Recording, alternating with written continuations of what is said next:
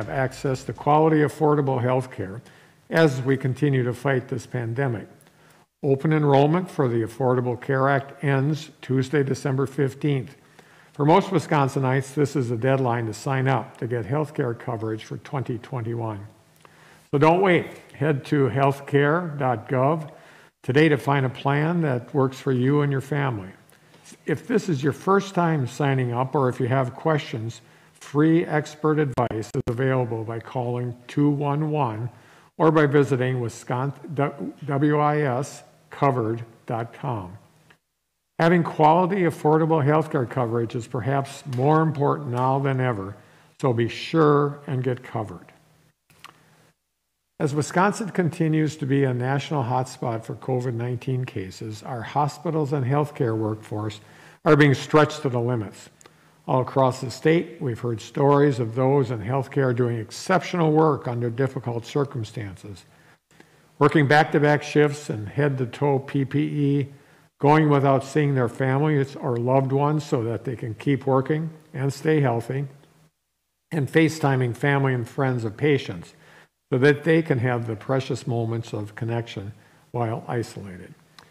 And we've heard far too many tragic stories of nurses holding their patients' hands as they fought for their life, sometimes losing the battle to the virus without their loved ones there next to them. The weight on their shoulders is immense, and they are doing a remarkable job. But we have to remember that our healthcare heroes are not invincible. Every day, they're putting their health and safety on the line to take care of our most vulnerable patients, sometimes having to quarantine at, quarantine at home because they have symptoms themselves or were exposed. In a state where we are already str- uh, struggling to find healthcare workers before the pandemic, many hospitals and clinics are stretched thin. Yesterday, we announced approximately 45 U.S. Army medical personnel from the U.S. Department of Defense, will be heading here to support Wisconsin folks at Marshfield Medical Center facilities in Marshfield, Eau Claire, Beaver Dam, and Rice Lake. The Marshfield Clinic System has been utilizing volunteers from the Wisconsin Emergency Assistance Volunteer Registry, but the need for more staff to meet patient demand remains a challenge, and this additional support will be crucial in helping meet patient needs. We're appreciative of this federal partnership at a time when our, when our state is and communities can really, really use it. It's also critically important that every Wisconsinite do their part to stop the spread of this virus by staying home and wearing masks whenever you have to go out. Your actions will not only help save lives, but will help protect our healthcare workforce by flattening the curve and reducing their risk for being exposed to the virus.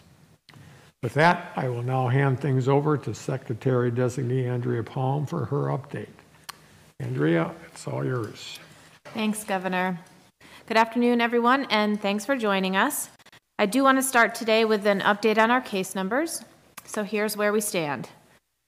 Today, we're reporting an additional 57,000 Wisconsinites have died from COVID 19, which brings our total deaths here in the state to 3,944 and reminds us, as it does every day, that we must do everything we can to prevent this virus from spreading further and causing more families to lose loved ones. We're adding 4,034 new cases today, which brings our total of confirmed cases here in Wisconsin to 426,099. Our seven day average of daily confirmed cases is 3,770, and that is lower than it was a month ago. But our testing numbers are also down, and that is concerning. It's my hope that we're seeing fewer positive cases because fewer people are getting infected with COVID 19. But with our positivity rate as high as it is, we know we are not testing enough people to get an accurate picture of the virus here in Wisconsin. So if you've been exposed to COVID 19, get tested. If you have symptoms of COVID 19, get tested.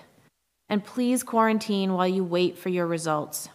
If you test positive, be sure to notify your contacts and limit your contact with other people in your household to try to prevent transmitting the virus further. If you test negative, Please keep staying home and monitor your symptoms. If you have a strong network of, excuse me, we have a strong network of labs here in Wisconsin, and the capacity to process tests is almost 60,000 per day. Our lab capacity is only helpful if we use it, so please get a test if you need a test. Call your healthcare provider or visit one of our community testing sites. Testing is a key tool to box in the virus because it informs our decisions.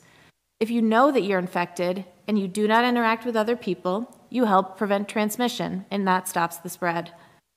This month, we will likely add another tool to our toolbox to help stop the spread with the approval and then arrival of the COVID 19 vaccine here in Wisconsin.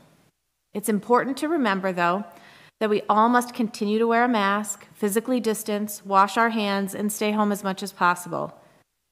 Please don't go to a friend's house or invite a few people over for dinner. Even a small gathering can and does spread COVID 19. Until enough Wisconsinites have been vaccinated, these remain the best tools we have to stop the spread. And finally, before we take your questions today, I want to highlight that yesterday we launched our wastewater surveillance dashboard, another tool in our statewide effort to understand the prevalence of the COVID 19 virus. Wastewater surveillance has been shown to detect increases in COVID 19 activity uh, up to a week before testing. This project is a collaboration between DHS, the Wisconsin State Lab of Hygiene, and the University of Wisconsin Milwaukee and this dashboard is part of our continued commitment to data transparency.